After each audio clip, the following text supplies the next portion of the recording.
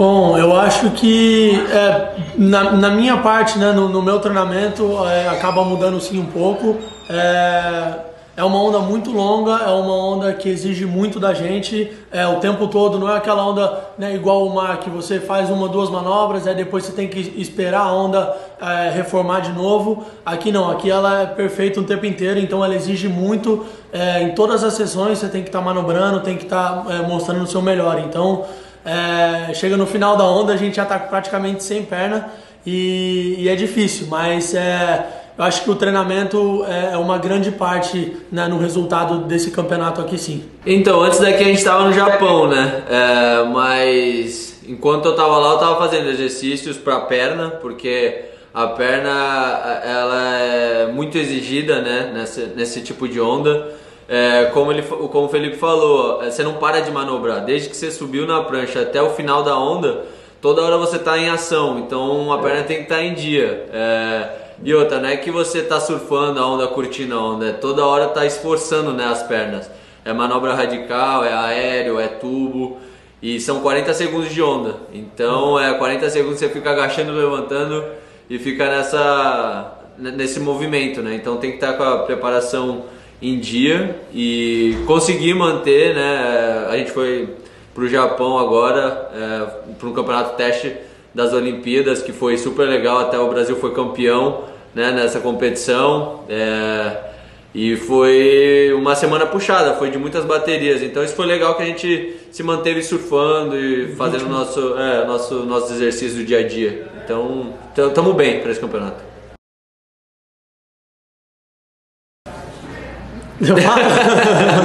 é, ah, eu acho que fora d'água a gente, a gente é amigo, né? Não tem nem o que falar. A gente sempre tá.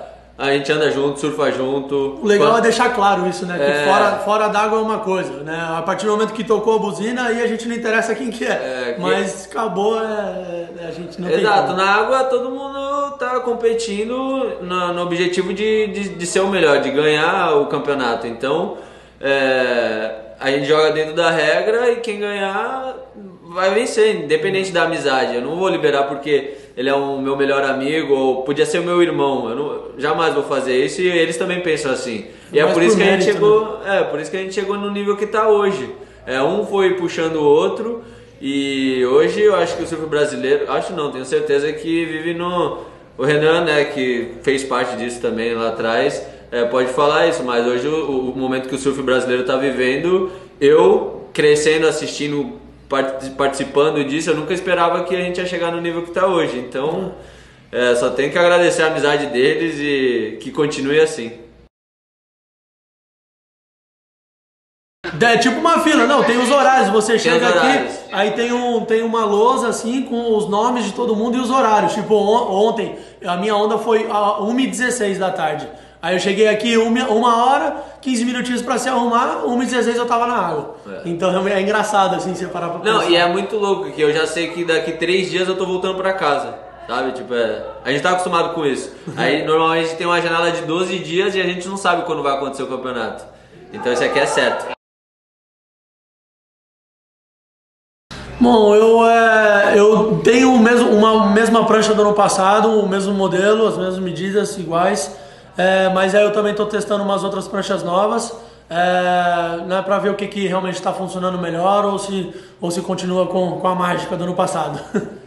As minhas são as mesmas, é, mesma coisa. O time que tá ganhando não mexe, né? Boa. Aí,